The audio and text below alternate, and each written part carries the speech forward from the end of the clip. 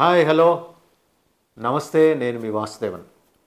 Pawan Kalyan breakfast రాజకీయాలు ఢిల్లీలో చూస్తుంటే కనుక ఈరోజు ఆంధ్రప్రదేశ్లో చాలామంది నాయకుల్ని సర్పాస్ చేసి ఆయన ముందుకెళ్ళినట్టుగా తెలుస్తుంది. కేంద్ర హోంమంత్రితోటి ప్రత్యేకంగా సమావేశం కావటం అలాగే పార్టీ రాష్ట్ర వ్యవహారాల ఇన్ఛార్జి బీజేపీ వ్యవహారాల ఇన్ఛార్జి మురళీధరన్తో సమావేశం కావటం చెప్పటం టీడీపీతో కలిసి వెళ్ళాల్సిన ఆవశ్యకతని నొక్కి చెప్పటం కలిసి వెళ్తే ఉండే లాభాలు ఏంటో కూడా వివరించడం ఇవన్నీ చేయటం ద్వారా ఆయన చేస్తున్న ఈ కుషన్ పాలిటిక్స్ నిజంగా అది టీడీపీకి బ్లెస్సింగ్స్గా మారాయి. ఎందుకంటే టీడీపీ తనకు తానుగా వెళ్ళి చెప్పుకుంటే నమ్మే పరిస్థితి అక్కడ లేదు. ఇంతకుముందు రెండు సందర్భాల్లో టీడీపీ కారణంగా బీజేపీకి ఎదురైన భంగపాటిని వాళ్ళు ఇంకా మర్చిపోలా.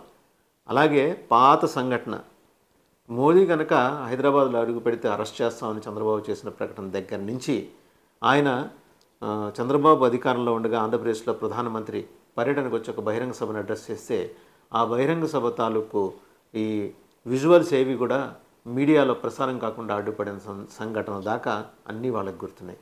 అలాగే ప్రధానమంత్రి వస్తున్నాడంటే నల్ల చొక్కాలు కుట్టించుకొని మరీ వెళ్ళి నిరసన ప్రదర్శన తెలియటం తెలియజేయటం ఎయిర్పోర్ట్లో ఇవి కాక లక్షలాదిగా ఉన్న వాళ్ళ కార్యకర్తలందరూ నల్ల బ్యాడ్జీల తోటి రోడ్డు మీదకి రావటం ఇవన్నీ కూడా బీజేపీని కలిసివేస్తున్నాయి వీటి పక్కన పెడితే అమిత్ షా తన కుటుంబంతో సహా తిరుమల స్వామివారి దర్శనానికి శ్రీవారి దర్శనానికి వస్తే ఆయన కాన్వాయ్ మీద ఆయన కారు మీద రాళ్ళు ఇవ్వటం జనం మర్చిపోయారేమో కానీ బీజేపీ అగ్రనేతలు ఇద్దరూ మర్చిపోలా. సో మరి ఇప్పుడు వా రెండు పార్టీల మధ్య కుషన్ ఎవరు? Pawan Kalyan. Excellent role Pawan Kalyan play చేస్తున్నారు. రేపొద్దున ఆయనకి కట్టబెట్టబోయే పదవి కూడా సామాన్యమైంది కాదు. ఎన్డీఏ కోఆర్డినేషన్ కమిటీకి చైర్మన్ లేదా కన్వీనర్. ఆ పోస్ట్ పేరు ఇంకా నిర్ధారించలేదు వాళ్ళు. దాన్ని అప్పచెప్పిపోతున్నారు మొత్తం ముప్పై ఎనిమిది భాగస్వామ్య పక్షాలని ఆయన సమన్వయం చేసుకుంటూ నేరుగా బీజేపీ హెడ్ క్వార్టర్స్కి వారికి మధ్య సంధానకర్తగా ఉంటారు.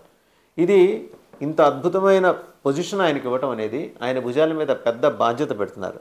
ఎన్డీఏ కూటమి గెలుపులో రేపొద్దున మోదీ అమిత్ షాల పాత్ర ఎంత ఎంత ఉంటుందో పవన్ కళ్యాణ్ పాత్ర కూడా అంతే ఉండబోతోంది. సో అంత ప్రా అంత ప్రాధాన్యత ఇవ్వటం ప్రయారిటీ ఇవ్వటం ఇవన్నీ చూస్తుంటే పవన్ కళ్యాణ్ ఇమేజ్ పవన్ కళ్యాణ్ ఇంటిగ్రిటీ ఇవన్నీ కూడా బీజేపీ హెడ్ క్వార్టర్స్ కన్సిడరేషన్లోకి తీసుకుందని అనుకోవాలి. ఇంకొకటి ఎన్డీఏ సమావేశంలో పవన్ కళ్యాణ్ మోదీ వెనకాలే నుంచున్నారు. మిగిలిన వాళ్ళందరూ ఒక్కసారి బాడీ లాంగ్వేజ్ కనుక చూస్తే మిగిలిన నాయకులందరూ చేతులు కట్టుకొని బుద్ధిమంతుల్లా కూర్చుంటే ఈయనొక్కరు కూడా అంటే ఒక ఫ్యామిలీ మెంబర్ ఒక తండ్రి దగ్గర ఎలా ఉంటారు. ఒక కుమారుడు ఒక తండ్రి దగ్గర ఎలా ఉంటాడు. అలాగే ఉన్నారు. వాళ్ళిద్దరిని చూస్తే అలాగే అనిపిస్తుంది. తండ్రి కొడుకుల మాదిరి ఆ బాండేజీ ఆ ఆ ఆత్మీయత ఆ ఆప్యాయత ఇవన్నీ కూడా మోదీ ఈయన పట్ల కనబరచడం. ఇవి సహజంగానే తెలుగుదేశం ఆసక్తిగా చూస్తుంది. తెలుగుదేశమే కాదు వైసీపీ పాలకపక్ష కూడా చాలా ఆసక్తిగా చూస్తుంది. ఇదేంటిది? మనం ఇంతకాలం ఈ వాళ్ళు ఏమైనా బిల్లులు పెడితే వెళ్ళి గమ్మున రాజ్యసభలో మద్దతు ఇచ్చేస్తున్నాం. లోక్సభలో ఎలాగ ఇస్తాం. రాజ్యసభలో కూడా మద్దతు ఇస్తున్నాం. వాకౌట్ ఆగ్రహం ప్రదర్శించి ప్రకటించి వాకౌట్ చేయడం ద్వారా పరోక్షంగా కూడా మద్దతు ఇస్తున్నాం. ఈయన చేస్తుంటే మనల్ని కాదని పవన్ కళ్యాణ్కి ఏంటి? అంత ప్రయారిటీ. కొంత గుస్సా మొదలైంది వాళ్ళల్లో కూడా. సరే ఎవరేమనుకున్నా కూడా వాళ్ళకి విజయ లక్ష్యం దిశగా నడుస్తున్నారు. మోదీ అమిత్ షా ద్వయం వాళ్ళకి ఒక మంచి టీం ఉంది. జేపీ నడ్డా రాజ్నాథ్ సింగ్ జయశంకర్.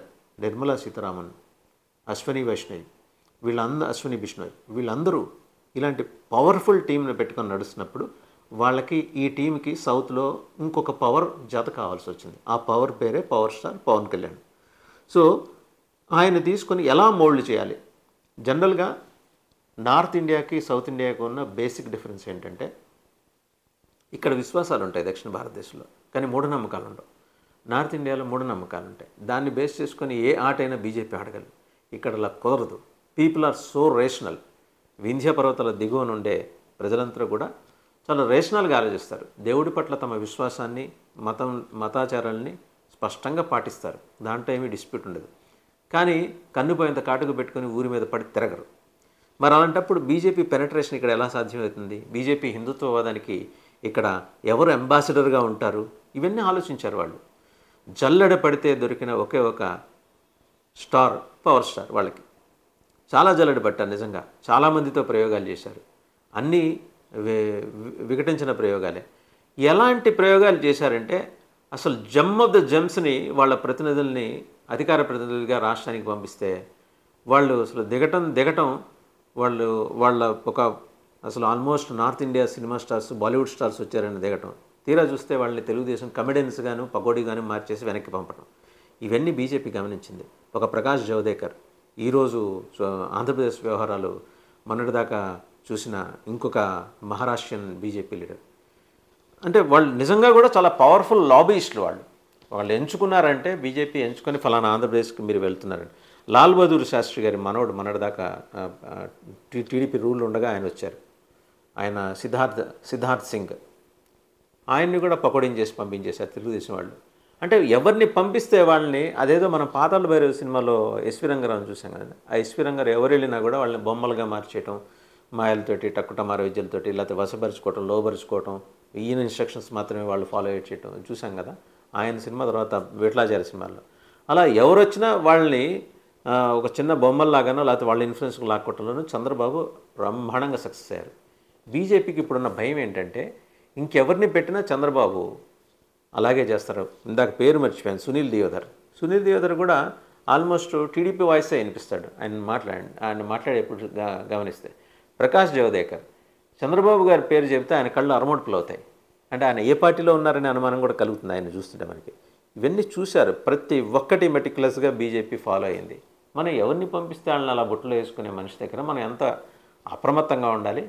ఏమాత్రం ఏమరపాటుగా ఉన్నా మొత్తం అసలు మనం వేసుకున్న డ్రెస్తో సహా మొత్తం చంద్రబాబు దొంగిలించేస్తారు సో చాలా జాగ్రత్తగా ఉండాలి. మనం ఎవరిని పంపించినా. వాళ్ళకి వెతకగా వెతకగా వెతకగా చివరికి దొరికింది పవన్ కళ్యాణ్. ఈ తురుపు ముక్క ఆరడుగుల బుల్లెట్ అనే పేరు కూడా ఉంది కదా ఈయనకి. కరెక్ట్గా దించుతాడు తెలుగుదేశాన్ని. అయితే సరే లోకల్గా ఉన్న స్థానిక రాజకీయాల దృష్ట్యా పవన్ తెలుగుదేశంతో జెల్ అవటం ఇవన్నీ ఒక అనివార్యత ఆయనకి. అంతేగాని ఆయన ఏదో తెలుగుదేశం అంటగాగుతున్నారని అనుకోవడం కరెక్ట్ కాదు. ఆయనకంటూ ఆయనకు స్పష్టమైన వ్యూహాలు ఉన్నాయి మొన్నటికి మొన్న IYR Krishna Rao garu Andhra Pradesh chief secretary మాట్లాడుతూ ఫార్మర్ చీఫ్ సెక్రటరీ మాట్లాడుతూ పవన్ బలపడుతున్నాడు. అతను ఇన్నాళ్ళు తొమ్మిదేళ్ళు దాచుకున్న ఎనర్జీస్ అన్నీ కూడా ఈరోజు అక్యుములేట్ చేసుకున్న ఎనర్జీస్ అన్నీ కూడా ఈరోజు ఎగ్జిక్యూట్ చేస్తున్నాడు. ఆ ఎగ్జిక్యూషన్లో భాగమే అతను ప్రకటించిన ఆ యాటిట్యూడ్ వారాహి ఫేజ్ వన్లో కానీ ఫేజ్ టూలో కానీ సో ఇతను రేపు ఏకు మేకై కూర్చుంటాడు ఎవరికైనా ఆంధ్రప్రదేశ్లో అని.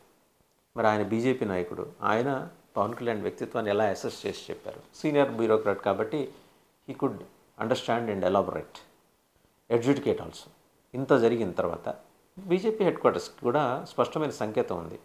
ఇతను రాబోయే రోజుల్లో ఇక్కడ సునామీ సృష్టించబోతున్నాడు. తాత్కాలికంగా అతనికి తెలుగుదేశంతో కొంత ఒక అనివార్య స్నేహం ఉంది. ఇన్ఎవిటబుల్గా ఫ్రెండ్షిప్ ఉండాల్సి వచ్చింది. అంతేగాని అదేం పర్మనెంట్ కాదు. మనం తయారు చేసుకుందాం పవన్ కళ్యాణ్ని. అతనికి అతని దగ్గర ఉన్న శక్తియుక్తుల్ని మనం వినియోగించుకుందాం. వినియోగించుకొని బీజేపీ ఎలాగూ దక్షిణాది రాష్ట్రాల్లో రాజకీయం రాజకీయ అధికారం రాజ్యాధికారం చేపట్టే స్థాయికి ఎదగటం ఇప్పట్లో సాధ్యం కాదు కాబట్టి ఇటువంటి స్టార్స్ని పవర్ఫుల్ స్టార్స్ని మనం ఉపయోగించుకుందాం. కేరళలో సురేష్ గోపి తమిళనాడులో విజయ్తో కూడా ఈ మధ్య మంతనాలు అవుతున్నాయి. అతను కర్ణాటకలో సుదీప్. ఆంధ్రప్రదేశ్ తెలంగాణలకు సంబంధించి పవన్ కళ్యాణ్.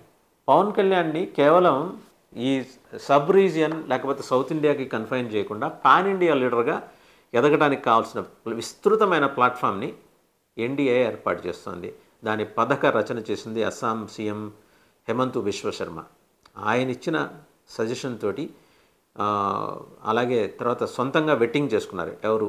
ప్రధానమంత్రి కానీ హోంమంత్రి అమిత్ షా కానీ వీళ్ళందరూ వెట్టింగ్ జేపీ నడ్డా కానీ ఏ బీజేపీ జాతీయ అధ్యక్షులు. వెట్టింగ్ చేసుకొని ఒక నిర్ణయానికి వచ్చి పవన్ కళ్యాణ్ మన తురుపుముక్కగా దక్షిణ భారతదేశంలో మనం ప్రవేశపెట్టి దేశం మొత్తం అతని సేవలు వినియోగించుకుంటే ఎలా ఉంటుంది అనే సందేశాన్ని వారు ఆర్ఎస్ఎస్ హెడ్ క్వార్టర్స్ నాగ్పూర్కి పంపించారు. నాగ్పూర్ కూడా ఎస్ అంది. ఎందుకంటే పవన్లో కావాల్సినంత హిందుత్వ భావజాలం ఉంది. అన్నవరంలో పురోహితులను కూడా వేలం పెట్టడాన్ని నిలదీశాడు ఆయన. నిలదీసి గట్టిగా కడిగేశాడు. ఇవనే కాదు ఎక్కడ చూసినా కూడా హిందువుల జోలికి హిందూ ధర్మం జోలికి వస్తే ఊరుకునేది లేదు తాట తీస్తానని చెప్పాడు.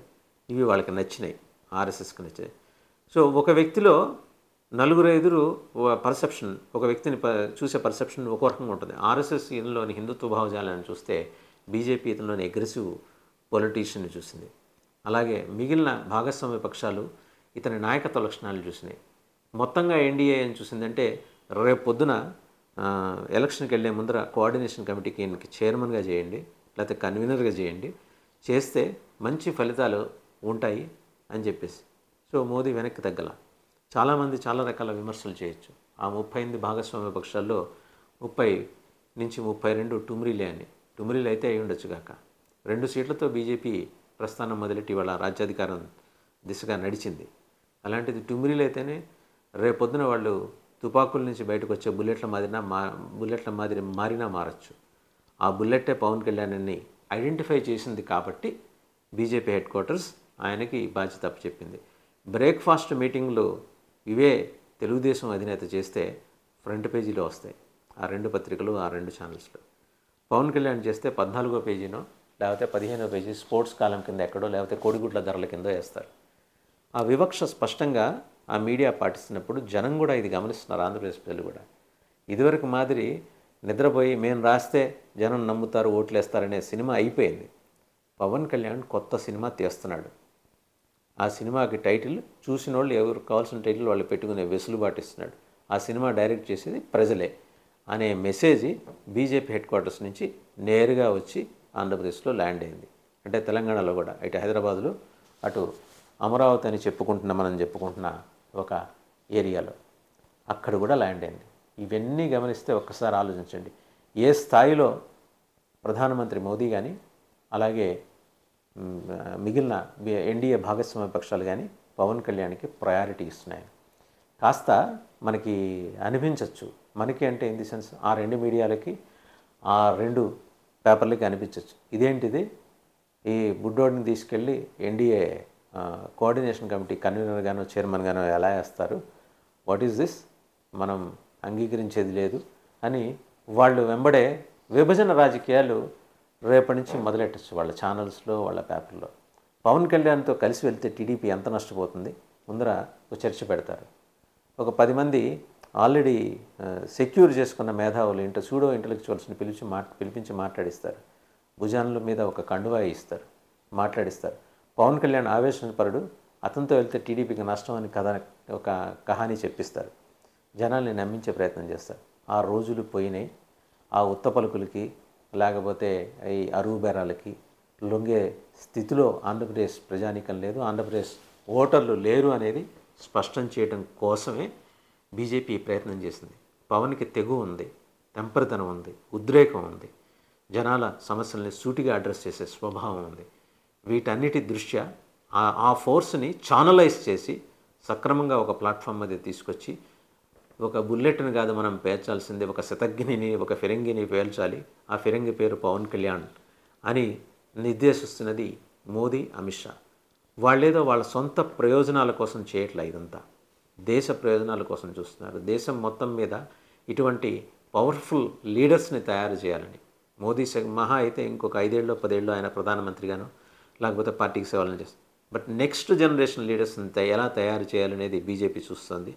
అందులో వచ్చిన ఫస్ట్ జనరేషన్ బుల్లెట్ పవన్ అనేది చాలా స్పష్టంగా అర్థమయ్యటానికే ఈ సమావేశాలు ఈ బ్రేక్ఫాస్ట్ మీటింగ్స్ ఇవన్నీ రేపు ఆయన ఆంధ్రప్రదేశ్ వచ్చిన తర్వాత మారే రాజకీయాలు ఎలా ఉంటాయో చూడండి.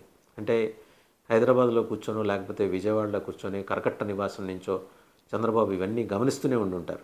సో అతని ప్రాధాన్యం ఏంటి? మనం పరిచయం చేసిన పవన్ ఏంటి? ఈ స్థాయికి వెళ్ళటం ఏంటి? అని ఆయన లోపల లోపల దిగులు పడుతూనే ఉంటారు.